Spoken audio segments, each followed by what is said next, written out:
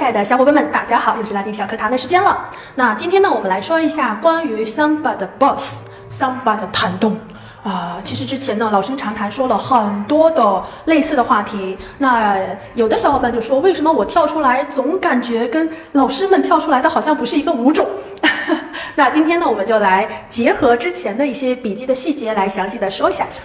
我们之前有说过，Samba 是后边发力啊。那我们去跳 Samba bounce 的时候，有的小伙伴还去啊，one 啊，two 啊，three 啊，four，身体会有一个摆荡。好像是后侧在推，可是总感觉自己在前后摇晃。那这个呢是第一种，第二种，啊，one a two a three a four。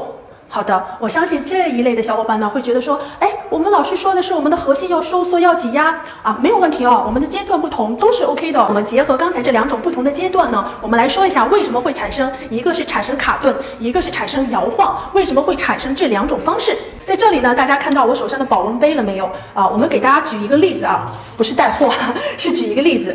恰巧我的保温杯这里有一个卡环儿，那我们这个卡环儿呢，相当于什么嘞？相当于我们的。啊，胸腔横膈膜的位置，我拿在手里，我的手相当于我的肩膀和我的头。那我们横膈膜、胸腔和我的头是连接的。我的杯子的杯体上半部分是我们的核心中段，下半部分是我们的腿跟脚。那我们的 Samba 的 bounce 实际上是这样子的，看，大家能够理解吗？啊，实际上我们的胸腔以下，我们在做 bounce 的时候，我们的胸腔以下实际上它是柔软的、丝滑的，而不是。一卡一卡，或者是前后摇摆，对不对？哎，这个这个例子大家可以很清楚的看明白吗？我的核心，我的腿和脚。好的，那我们运用到我们的舞蹈里啊。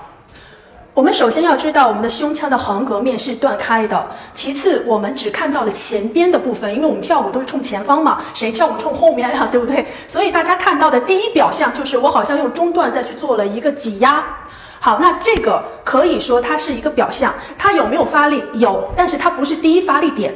第一发力点在哪里？在我们大腿后侧和屁股，以及我们的脚掌和脚后跟的一个重心的转移。同样的力量源于地板，这个真的是说了一万遍了。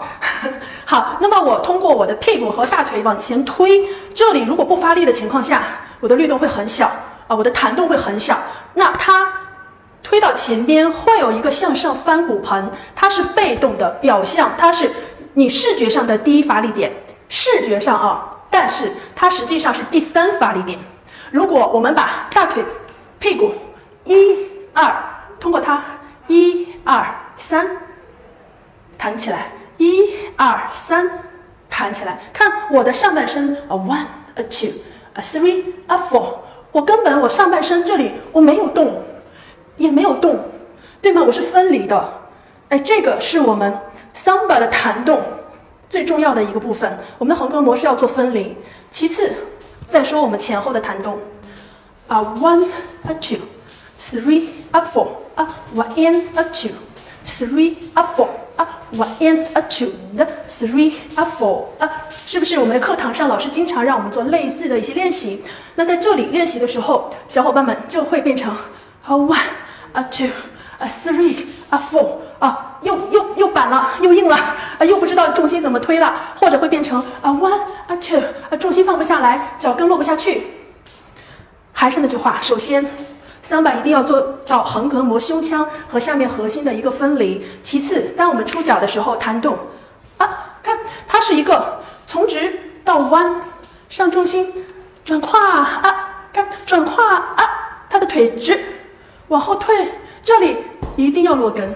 如果不落根，就会变成的，你就是飘着的，你就是在上面的，你就是永远跳不出来那种在地上的感觉。那么再来啊，啊，one，啊，two，啊，three，啊，four，啊，大家想后面，想后面，前边的核心，前面的中段，啊，咚咚哒哒哒，嘟哒哒哒哒，它是表象。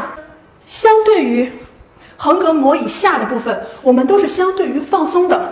大家把所有的思想、想法全放到后侧去推去发力，包括我们的原地桑巴 Walk，包括我们的 Whisk，啊，都是大腿、屁股后侧的发力。